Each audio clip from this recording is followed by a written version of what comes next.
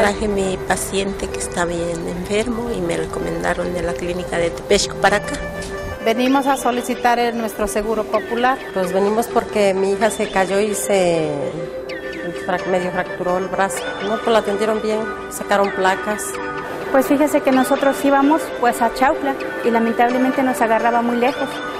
Y a veces teníamos que madrugar para llegar a tiempo.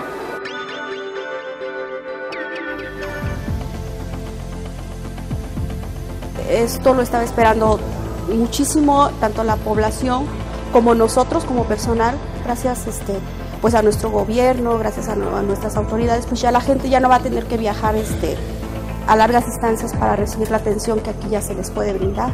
Aumentó la cantidad de personal y este, con eso pues la eficiencia de, de, del servicio. ¿no?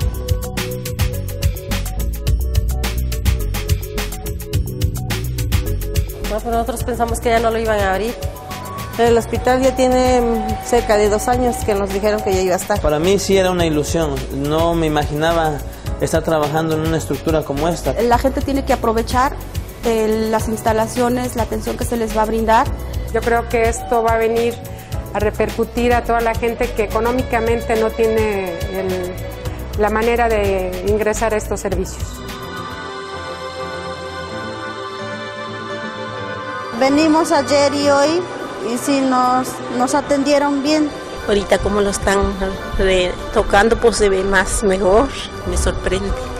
Para mí es un logro muy grande, muy importante trabajar este pues en una secretaría como, como la Secretaría de Salud.